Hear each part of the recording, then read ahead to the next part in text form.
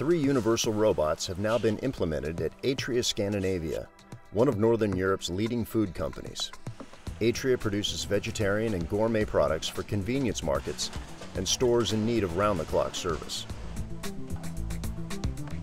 Atria is a large group that owns several brand name food products, so our products are sent out both through our own stores and various other retail chains. Atria Scandinavia installed three collaborative robots from Universal Robots. The factory in Skina looked into several options before choosing Universal Robots. Our goal has been to establish a safer and more efficient process where it's easy to adjust and reprogram the robots, and where we don't need as much personnel. Quite simply put, we wanted a more reliable production line. If the larger automation equipment at Atria malfunctions, it often causes several hours of shutdown and requires an outside specialist to fix. Universal robots make it easier to handle shutdowns, the downtime is minimal, and the employees are able to solve whatever problems might arise during the production. The collaborative robots are now busy attaching labels, folding cartons, and palletizing. The advantage of the robots is that the operator can largely control the robot himself and work right next to it without any safety caging in between. It's often necessary to interact with the robot, so it was imperative for us that the robot would be safe to work with.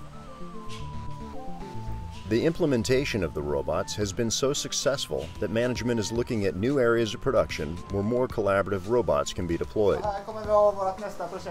This is where our next project will take place, starting in three or four weeks.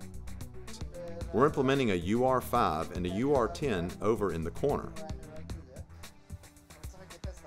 Now that we're more familiar with the robot setup, we won't need as much time testing.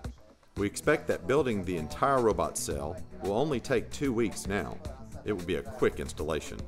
At the factory, it took Johnny Jensen and his co-workers two months to implement and install the first robots by themselves.